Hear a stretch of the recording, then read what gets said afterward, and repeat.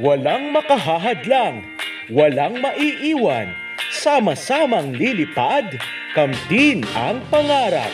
Sa hamong kinakaharap, patuloy na aangat. Edukasyon para sa lahat, sulong edukalidad. Ito ang programang Pagadalan Titangatang ng DepEd Nueva Vizcaya on air. Sumasahim papawid sa DWNS 96.5 UFM. Magandang araw sa mga minamahal naming tagapakinig, mga magulang at mag-aaral sa kindergarten. Ito ang ating paralang panghimpapawid. Nagagalak ako na makasama kayo sa ating pag-aaral sa pamamagitan ng radio. Ako ang iyong lingkod, Teacher Benilyn Lamsis, mula sa Western Cayapa. Muli mga bata, magandang umaga. Kumusta kayo ngayon? Bago natin umpisahan ang ating pag-aaral, kumanta muna tayo. Halina't sabayan niyo ako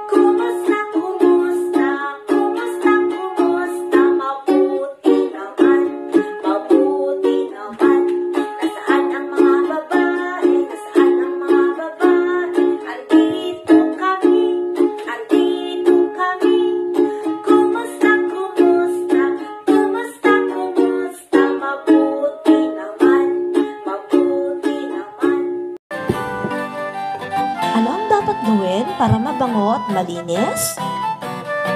Tama! Tayo'y umawit.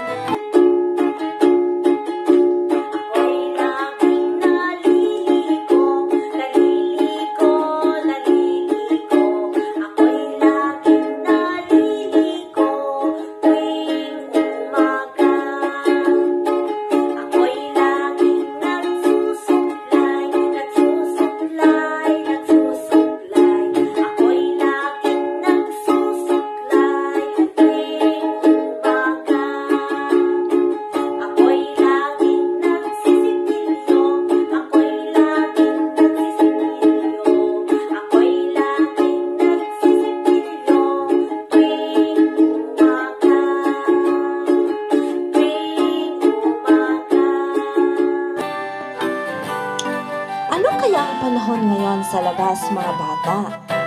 Umaaraw ba? Umuulan? Maulap? O may bagyo? Halina't sabayan niyo akong umawit.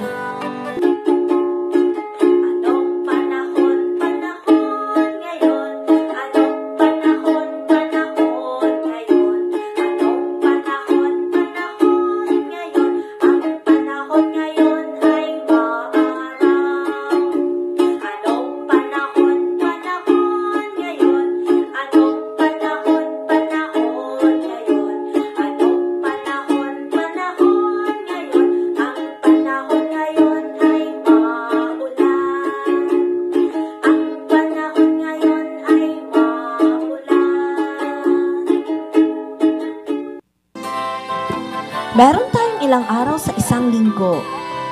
Ano daw? Pakilakasan ang sagot? Tama! Meron po tayong pitong araw sa isang linggo. Tara, awitin natin.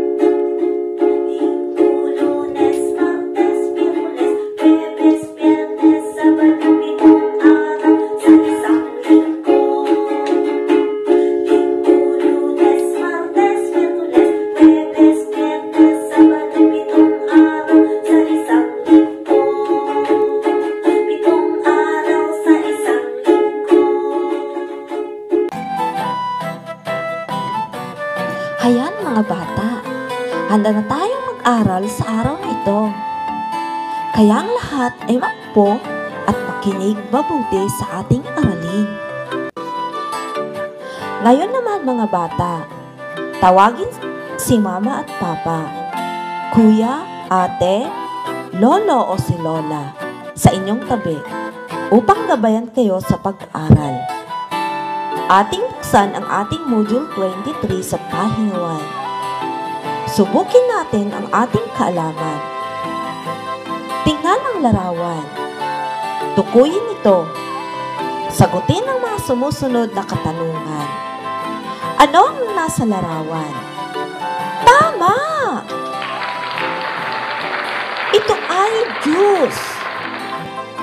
Ano ang unang tunog nito? Magaling! Ang unang tunog nito ay J. Tukuyin kung anong letra ito. Kung ang sagot ninyo ay letra J, mahusay kayo!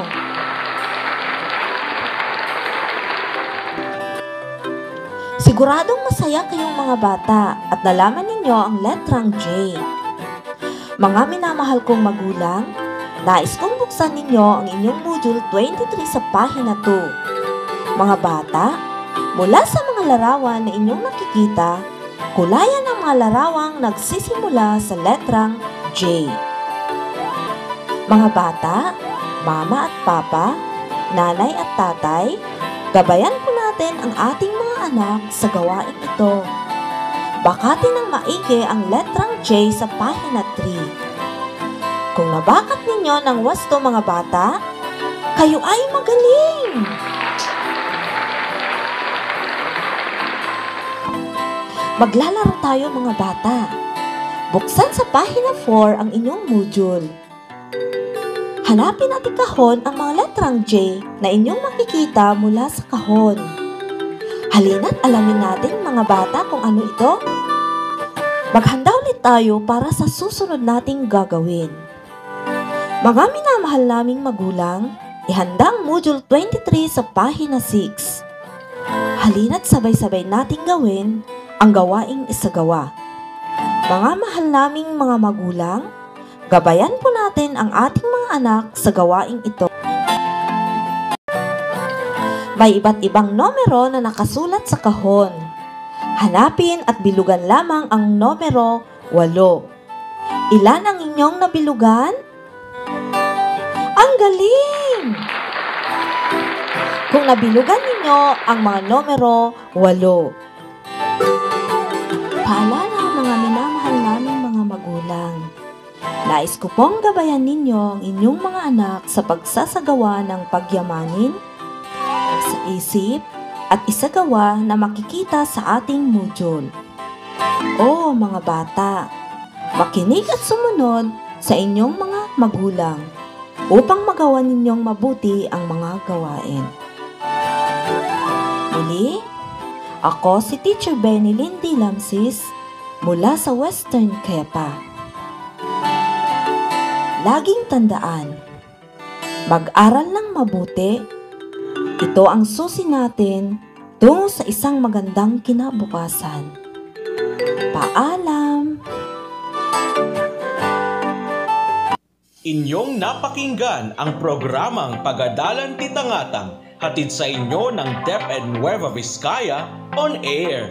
Antabayanan ang mga susunod pang aralin sa DWNS 96.5 UFM.